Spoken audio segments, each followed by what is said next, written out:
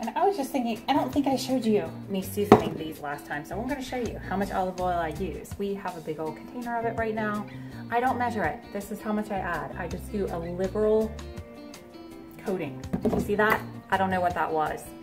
I don't know how much. Three tablespoons, five tablespoons, I don't know.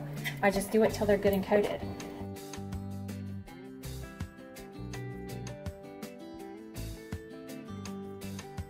And then my salt, we like to use the pink Himalayan sea salt. We find it to be a little bit less salty and there's great antioxidant benefits with it. I add about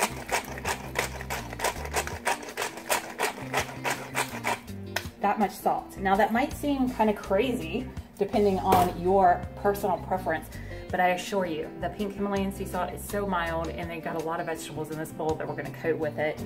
And then I use an organic veggie blend um, dried seasoning mix. And I just coat that this much till there is a good solid coating on it.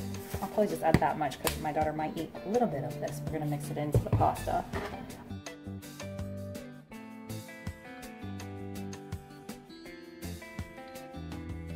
Um, I'm gonna grab my spatula again, give that a good stir. You just wanna make sure everything is good and oily, good and seasoned because that's what makes the best vegetables.